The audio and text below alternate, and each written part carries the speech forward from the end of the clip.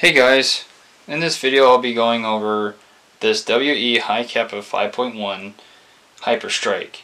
So, for starters, I just want to let you guys know that I've owned this thing for about six years.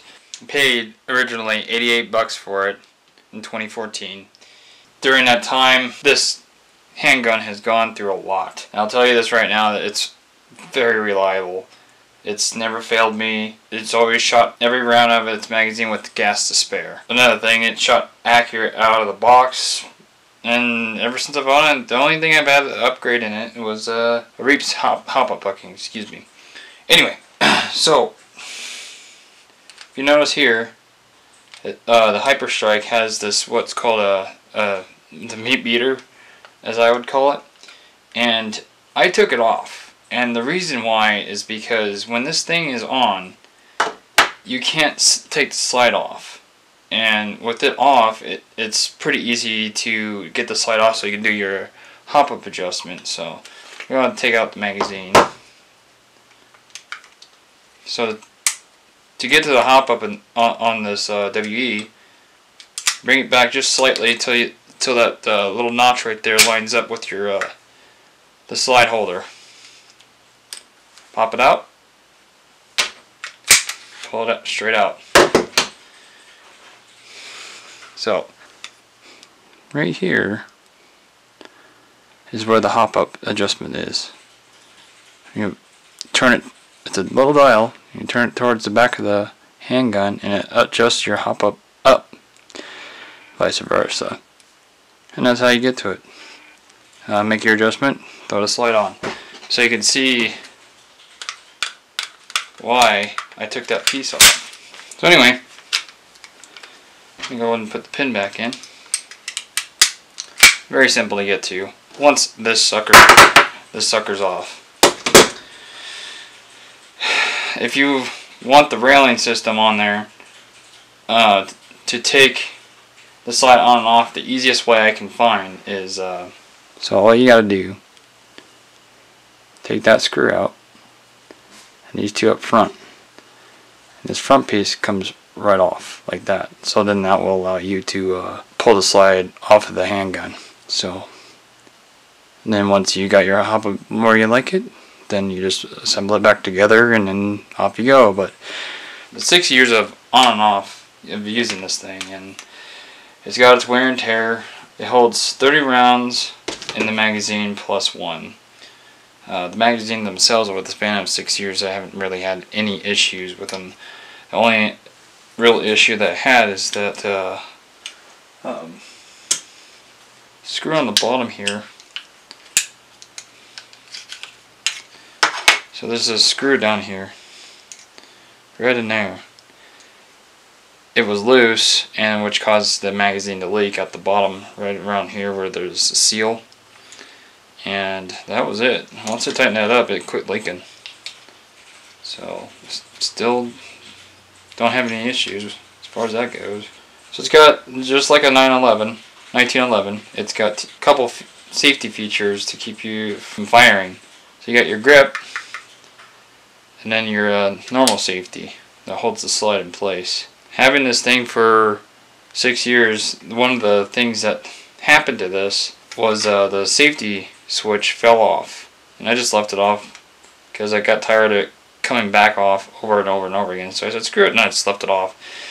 Hasn't hindered the the ability of its safety. I didn't even use that sight anyway because I shoot right-handed. So I just, when I draw it, I just put my thumb down like that, and then when I'm not using it, I just push it back up. It's got some resistance onto it. The grip safety does work. So if I pull this that safety back or the hammer back, I can't pull the trigger. But if I grip the handle and pull the trigger, then it works. So on this WE, it works really well. Along with this safety, it holds itself up pretty well. You got to give it a little bit of effort to take it off safety. Beautiful trigger. Love the trigger in this thing. Shoots very straight. I like using .28 gram BBs with it. Or even .3s for that matter. Because it shoots so accurate. You do have a little bit of adjustment for your sighting on the top here. On the side. So you can do your side to side and up and uh, up and down sight, sights on this thing.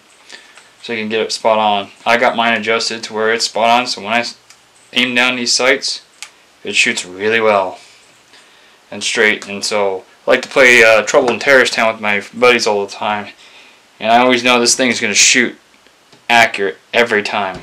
Another thing that happened to this gun that's uh, after a long time of owning it, the trademarks that were here and here that labeled it as a Hi-Capa and, and whatnot, they just fell off. I, I, didn't, I didn't even notice it. I think they fell off out, out in the field.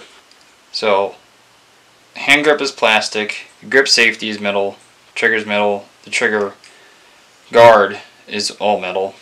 Same with the, the entire slide. So, you can't beat that, man. I mean, it's it's such a great airsoft gun. It, it's never failed me.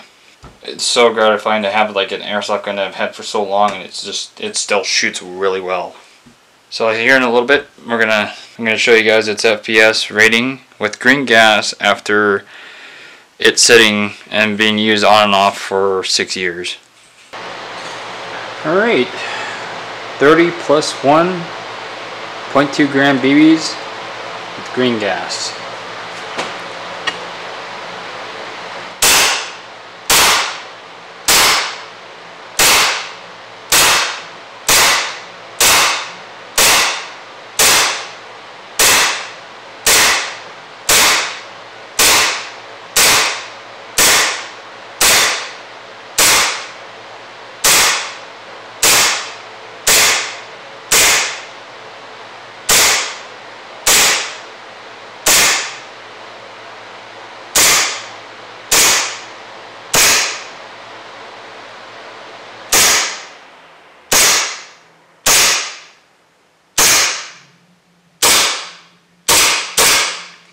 That's it.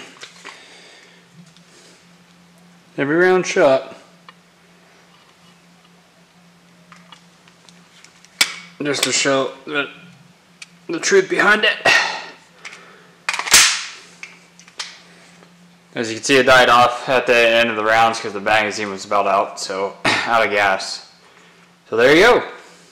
Okay, the, that sounds about everything. Thanks for watching.